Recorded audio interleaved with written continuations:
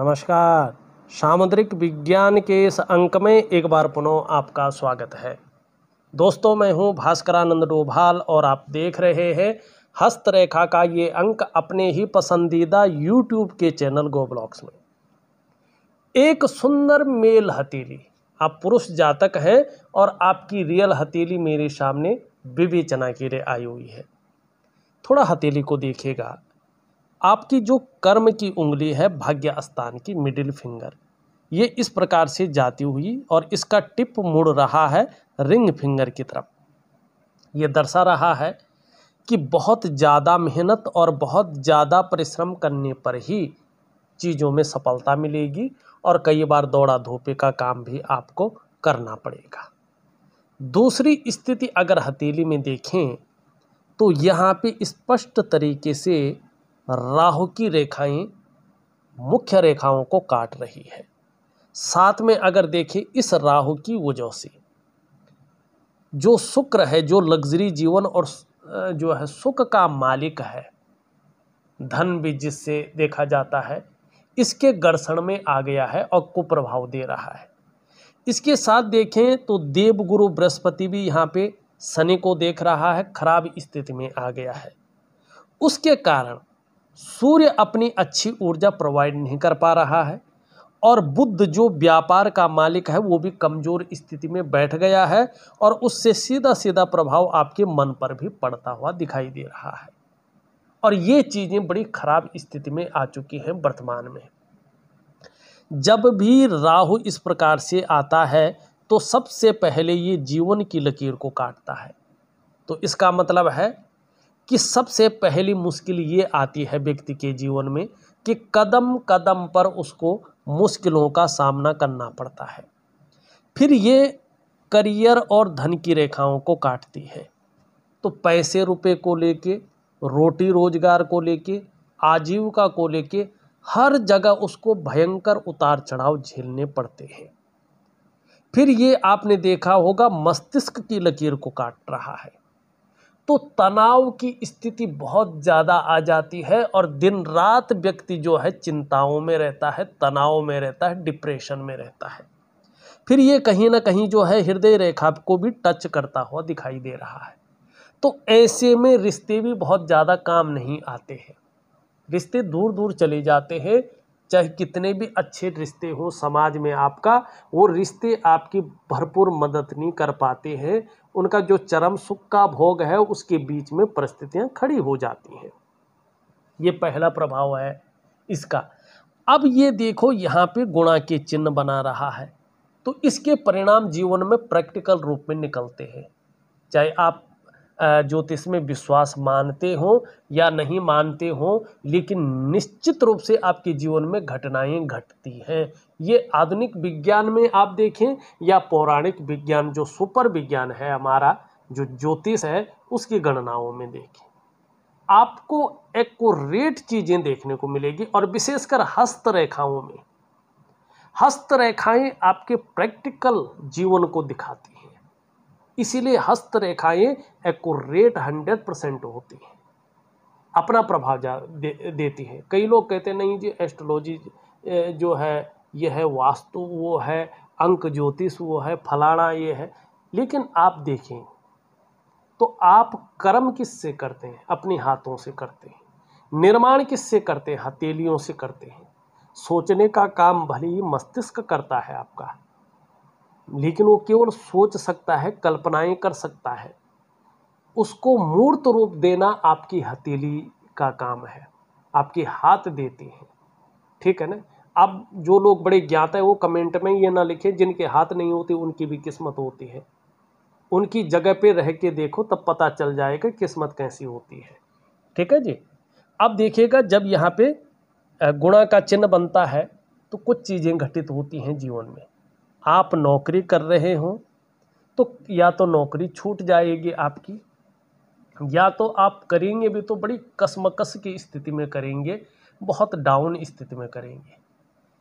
यदि आप व्यापार कर रहे हो तो व्यापार या तो घाटे में जाना शुरू हो जाएगा, या व्यापार में ज़बरदस्त नुकसान होगा और आप उसको छोड़ देंगे। अगर इन चीज़ों से आप कहीं ना कहीं बच गए, फिर ये भयंकर धन हानि कराता है। अगर धन हानि से भी आप बच गए, फिर ये कर्जे के दलदल में ऐसा फंसा लेता है कि उस दलदल से निकलना मुश्किल होता है और लंबे दौर तक व्यक्ति उस दलदल में फंसा रहता है और उस दलदल से निकलने का रास्ता ही नहीं मिल पाता है। अगर ये आपके जीवन में नहीं हुआ है तो फिर बहुत सोच समझ के रहेगा राहु की ऐसी स्थिति है तो फिर ये क्या करता है? फिर ये वाद विवाद में फंसाता है, करा किसी ने, भरा किसी ने। ये कोर्ट कचहरी का मामला बनाता। कभी कभी तो मैंने देखा है ऐसे लोगों के हथेलियों में कि आपस में मियाँ बीबी का ऐसा टकराव हो जाता है कि न तो वो छोड़ रही होती है और न ही जो है वो उसके पास आ रही होती है, बल्कि दोनों को जो है आपका कोर्ट कचहरी का मामला चलता रहता है। और दोनों तनाव में रहते हैं, ऐसी स्थितियों को ये दिखाता है। अगर ये भी नहीं हुआ, फिर और भी संभल के रहेगा। फिर ये रहस्यमय बीमारी पैदा करता है। पता नहीं चलता है बीमारी क्या है, कहाँ से आई है, इसका इलाज क्या है। इलाजों में लाखों फूक लेता व्यक्ति, पर ठीक नहीं हो पाता है। क्योंकि राहों का जब तक उपाय नहीं किया, नहीं होगा ठीक। ये चीज़ें घटती हैं। तो आपके जीवन में भी इन चीज़ों में से एक चीज़ है, और वो है कर्जा। आप लिखते भी हैं कि मेरे ऊपर बहुत कर्जा हो गया है, जिसके कारण आपने अपनी कार भी बेची है। बेचना पड़ा है आपको तो इसका कारण ये है। अब इसके कारण जो है, जब शुक्र इसके घर्षण में आ गया है, इसके प्रभाव में आ गया है तो ये देखेगा शुक्र में क्या है, भयंकर जाल बन गया है। ऐसे ये जब ये जाल बनता है तो व्यक्ति को मानसिक परेशानियों का सामना करना पड़ता है। व्यक्ति का जीवन संकटों और कठिनाइयों के बीच गुजरता है। बहुत ज़्यादा मेहनत, बहुत ज़्यादा प्रयास करने पर भी उसके प्रयास पूर्णता की स्थिति में नहीं पहुँचते हैं और अभाव की स्थिति को ये बताता है। लाख प्रयास करने पे, सारे साधन होने के बावजूद भी सुख की अनुभूति नहीं हो पाती है। ये प्रभाव देता है ये। राहु से ग्रसित होने पे। अब यहाँ पे ये कोबड़ है, ये श्रेष्ठ बुद्धिमता को बताता है व्यक्ति का। लेकिन जब राहु की स्थिति आई शुक्र इसमें संलग्न हो जाए तो जीवन काल में ये संघर्ष देता है, धन हानि दिखाता है। और तब ऐसे लोगों को जब ऐसी स्थिति हो तो व्यवसाय बड़ा सोच समझ कर करना चाहिए, ये व्यवसाय में नुकसान को दिखाता है। और ख़ासकर ऐसे लोगों को पार्टनरशिप में कार्य नहीं करना चाहिए और खूब मेहनत के बाद ही ऐसे लोगों के पास धन आता है। अगर बयालीसवें वर्ष से पहले ये चीज़ें घटित हो गई तो बयालीसवें वर्ष से जीवन फिर से पटरी पे आ जाता है। और बयालीसवें वर्ष के बाद अगर आपके जीवन में ये चीज़ें घटित हो गई तो फिर जीवन में 56 ईयर से जीवन पटरी पे आता है। लेकिन उतना टाइम तक आपको जो है वेट करना है नहीं। चमत्कार होगा, चमत्कार भी नहीं होगा। लेकिन कुछ उपाय दूँगा। धीरे धीरे आपकी जीवन की जो गाड़ी है, वो पटरी पे आएगी। अब कुछ चीज़ों का आपको ध्यान रखना है। एक तो जल्दबाजी में आकर कोई बहुत बड़ा डिसीज़न नहीं लेना है। उतावलापन नहीं दिखाना है। उतावलेपन में आकर बहुत बड़े डिसीज़न नहीं लेना है और भावनाओं की बशीभूत होकर बड़ा डिसीज़न नहीं लेना है। पहले चीज़ों का एनालिसिस करना है, उनको परखना है, बराबर सोचना है, परिवार से भी पूरी बात करनी है, तब जाके उस डिसीज़न पे, निर्णय पे आपको पहुँचना है। और एक बात का ध्यान रखना, जैसे जैसे उम्र बढ़ेगी, वैसे वैसे पीठ का दर्द है, घुटने का दर्द है और कमर की प्रॉब्लम है, इसकी संभावना भी बढ़ती है। तो योगा है, प्राणायाम है, ये चीज़ें ज़रूर करें। अब इसके साथ बृहस्पति। जब सन की तरफ़ देखता है, चाहे इसमें कितने भी अच्छे चिन्ह हों, जैसे इसमें है तो भी इसका फ़ायदा नहीं है। शनि की तरफ़ देखना, परिवार को लेके भी चिंताएँ देता है या परिस्थितियाँ खड़ी करता है, परेशानियाँ खड़ी करता है।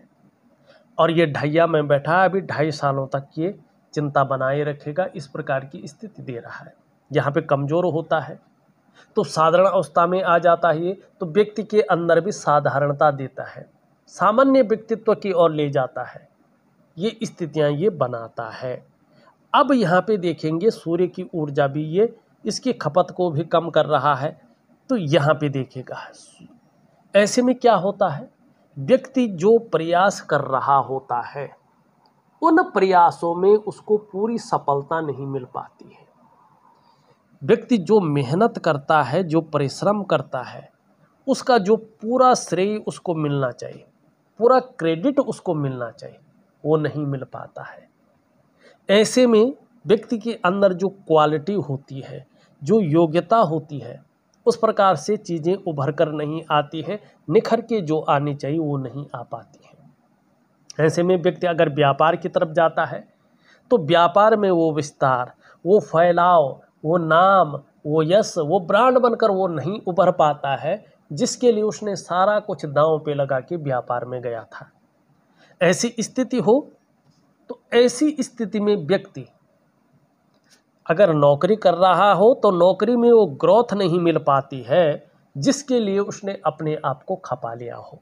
और ऐसे में निश्चित ही एक सहजता से, एक सरलता से व्यक्ति को रास्ता नहीं मिल पाता है, ये इस चीज़ को बताता है।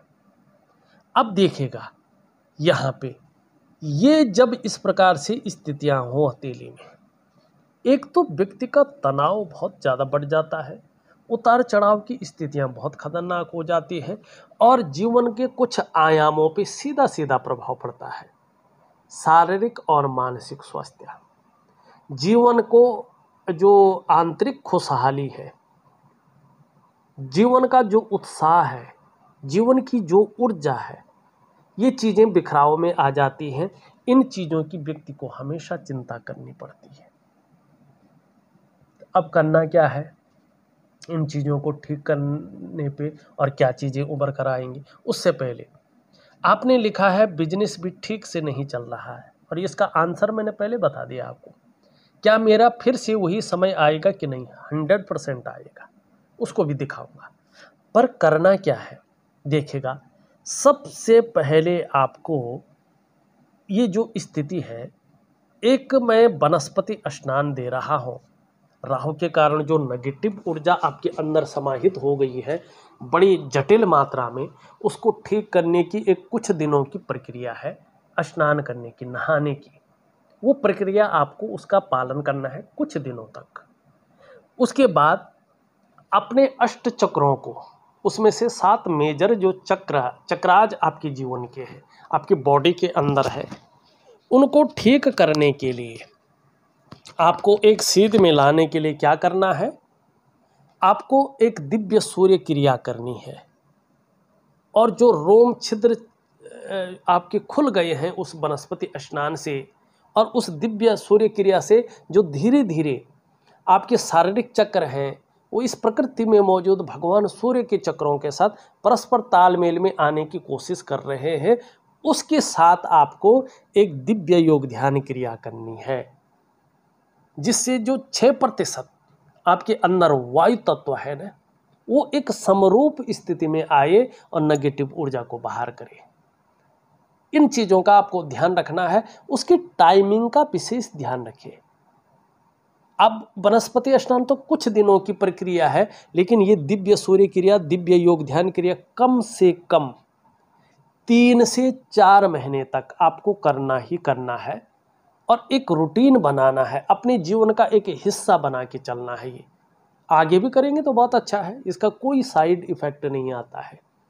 बल्कि चीज़ों में बेहतरीन स्थिति आनी शुरू हो जाती है। ये जो क्रियाएँ हैं, हमारे जो ऋषि मुनि हैं, वो महान वैज्ञानिक थे, उन्होंने इनका आविष्कार किया है, ये चीज़ें ईजाद की है। इस पे चलिएगा, मनुष्य का जीवन आश्चर्यजनक रूप से जादुई तरीके से बदलना शुरू होता है। लेकिन आप इसकी विधि को किस प्रकार से कर रहे हैं? क्या इस पे आपको विश्वास है? क्या आप मन से कर रहे हैं? इसके ऊपर ज़्यादा डिपेंड रहते हैं चीज़ें। तो ये मैं आपको दूँगा, ये वास्तविक रूप में करें और राहु का उपाय तो दूँगा ही दूँगा। ये तो मुख्य जड़ है। तो ये चीज़ें करेंगे तो निश्चित रूप से आपको जो है जीवन में फ़ायदा होगा। अब इसका नेगेटिव ऊर्जा का प्रभाव आपके मन पे पड़ रहा है। तो ये क्या करता है? मन को खराब करता है। मानसिक परेशानी से व्यक्ति को ग्रसित करता है। भावुकता देता है इमोशनली व्यक्ति को परेशान करता है। मन अच्छा नहीं रहता, मन भटकता है, मन व्याकुल हो जाता है। मन उच्चाट हो जाता है, काम यहाँ कर रहे मन कहीं और है, चिंता में पड़ा हुआ है। इसके कारण फिर स्वास्थ्य पर भी इसका प्रभाव पड़ता है। नींद आने में भी दिक्कतों का सामना करना पड़ता है। तो ये सब चीज़ें ठीक हो, इसके लिए मुख्य उपाय दे रहा हूँ आपको। ठीक है? इन चीज़ों को करिएगा। अब इन चीज़ों को आप करते हैं तो फिर देखिएगा यहाँ पे। अगर ध्यान से आप देख पा रहे हो तो इस प्रकार से आपकी हथेली में बहुत शानदार चीज़ें बन रही हैं। लेकिन ये कम से कम साढ़े तीन से चार वर्ष लगाए। पूरी तरह से फल देने में और 18 महीने के बाद 100 परसेंट कुछ ना कुछ फल देना शुरू करें देखिएगा एक तो व्यक्ति को अपने घर और अपनी गाड़ी का जो सुख है वो मिलेगा ही मिलेगा। पूरे जीवन में कभी भी मिले, लेकिन मिलेगा। दूसरी बात है, तीन इच्छाएँ आपकी बहुत बड़ी मेजर इच्छाएँ हैं, ये बता रहा है। तीन इच्छाएँ आपकी ज़बरदस्त रूप में पूरी, उसका संकल्प आप पूरा करेंगे, पूरी मिलेगा आपको। तीसरी बात है, ये त्रिकोण होना बताता है, व्यक्ति बुद्धिमान अवस्था में है। कला का पार की सिद्धहस्त है और धनी होगा ही होगा, व्यक्ति के पास चरम स्थिति का धन होगा, बहुत अच्छा धन होगा, भले ही वर्तमान में कितनी ही गर्त में है व्यक्ति। और संभव है, असंभव नहीं है, धनवाड्य व्यक्ति इस सूची में अपना स्थान बनाएगा, चाहे पैतृक रूप से निर्धन है, आर्थिक संपन्न नहीं भी है तो भी ये बताता है कि अपनी प्रतिभा के बल पर अच्छा खासा धन और बड़ी प्रसिद्धि को व्यक्ति हासिल करेगा। फिर यहाँ पे देखेंगे, ये बताते हैं कि देखिएगा, व्यापार की जो व्यक्ति के अंदर समझ है, बहुत गहरी है व्यक्ति के अंदर। और उस गहरी समझ के कारण कम्युनिकेशन स्किल्स के कारण, अपने बल पे कुछ करने के कारण, व्यक्ति ज़बरदस्त सफलता हासिल करेगा। ठीक है ना? ये स्पष्ट तरीके से बता रहा है। धार्मिक भावनाएँ बहुत अच्छी रहेंगी। ईश्वर में विश्वास बना रहेगा। यश पाने की इच्छा, नेम फेम पाने की इच्छा और अपने कार्यों में विस्तार पाने की इच्छा भी बहुत अच्छी रहेगी। धन और यश की भूख है। पैसा और सम्मान जीवन के लिए बहुत ज़रूरी हो गया है और जीवन का मुख्य लक्ष्य भी यही दिखाई दे रहा है।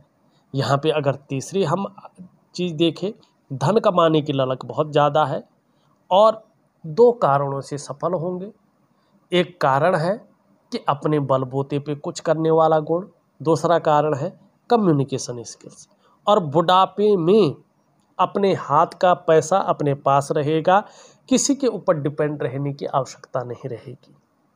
वाणी के भी धनी होंगे और ज़बरदस्त सफलता भी हासिल करेंगे। ये सोना चाहे आपका हथेली में कहीं हो, शरीर में कहीं हो, सोना अभी ढाई वर्षों तक धारण ना करें। समस्याएँ बहुत ज़्यादा विकराल रूप ले सकती हैं। इसीलिए लेने के देने न पड़े, इसलिए सोना धारण न करें। इसमें कोई नग धारण किया है तो चांदी की अंगूठियों में पहने। सोना जितनी मात्रा में हो, अपने शरीर से अलग रखें। आपके लिए इस समय ढाई वर्षों तक सोना धारण करना, मन समस्याओं को बुलाना है। तो इस बात का आप ध्यान रखेंगे, ये मैं उम्मीद करता हूँ। यहाँ पे आपकी मणिबंध रेखाएँ देखें तो स्पष्ट रूप से राजयोग दिलाता हुआ दिखाई दे रहा है, लेकिन ये राजयोग आपका छप्पनवें वर्ष में एक्टिवेट हो रहा है। इस राजयोग का।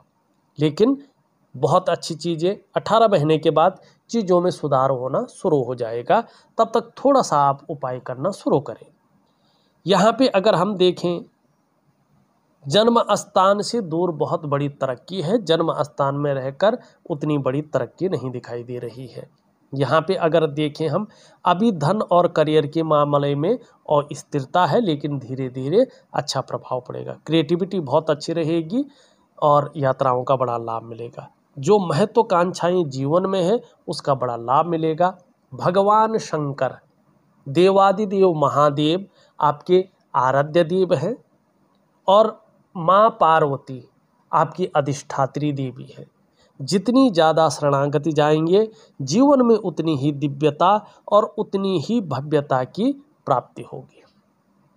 एक सुखद जीवन जीने की चाह रहेगी और सुखद जीवन जीने के लिए प्रयत्नशील व्यक्तित्व रहेगा, इसका लाभ होगा। यहाँ पे देखेंगे तो निम्न मंगल थोड़ा सा खराब स्थिति में यहाँ पे दिखाई दे रहा है। थोड़ा कन्फ्यूज़न है, उलझन है और दुविधा है क्रिएट कर रहा है और निर्णय लेने की जो ताकत है, उसको छीण करता हुआ दिखाई दे रहा है।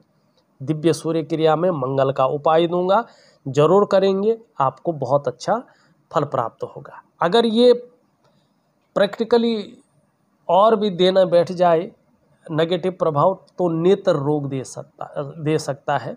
आँखों में चश्मा वगैरह पहन सकते हैं। शरीर में ताकत की कमज़ोरी महसूस हो सकती है। शरीर की जोड़ थोड़ा सा दर्द करना शुरू कर सकते हैं। और ज़्यादा हो गया तो शरीर में कंपन की समस्या या ब्लड प्रेशर की समस्या आ सकती है। तो मंगल का विशेष ध्यान रखें। दिव्य सूर्य क्रिया ज़रूर करें। ऊपरी मंगल ठीक है, जिसके कारण पराक्रम बहुत अच्छा रहेगा और एनर्जेटिक स्वभाव बना रहेगा। इसके बारे में हमने बात कर ली है। बेवजह का तनाव देता हुआ शनि दिखाई दे रहा है। या कुछ ना कुछ ऐसी वजहें पैदा कर रहा है जिसके कारण तनाव रहे और सुबह उठने में आलस्य आए। या उठ ना सके व्यक्ति किसी तरह से तो इसका ध्यान रखिएगा। सूर्य की बात हमने कर ली है। हरी सब्ज़ी है, हरे फल है और हरी दालें हैं। खाने में ज़्यादा प्रयोग करें। अगर परफ्यूम से कोई एलर्जी नहीं है तो चंदन का परफ्यूम लाएँ और नहाने के बाद हमेशा अपने शरीर पे थोड़ा सा चंदन का परफ्यूम लगाएँ। एक हरा रुमाल अपनी जेब में या ऑफ़िस के बैग में रखें। उसको यूज़ ना करें, एक सिंबल के तौर पे ज़रूर रखें। और सुबह और शाम हो सके तो। अगर किसी से आपने गुरु मंत्र ले रखा है जो है गायत्री मंत्र, उसका जाप ज़रूर करें दोनों समय। निश्चित ही आपका जो व्यापार है, वो व्यापार पूरी तरह से स्टेबल अवस्था में आएगा। धन और करियर के मामले में पूरी अस्थायित्व तो आएगा इसके कारण, और कहीं ना कहीं जो है आपके जो पुराने दिन हैं, वो जल्दी वापस आएँगे। ईश्वर की बड़ी कृपा होगी। अगर बात करें तो मैंने आपकी हथेली का पूरा विश्लेषण करके आपको बता दिया है। उपाय मैं विधिवत तरीके से लिख करके और ऑडियो के माध्यम से भेज रहा हूँ। आप करने की कोशिश करें, निश्चित ही आपको अच्छा लाभ होगा। इस वीडियो में बस इतना ही। एक नई वीडियो के साथ पुनः उपस्थित होगा तब तक के लिए नमस्कार।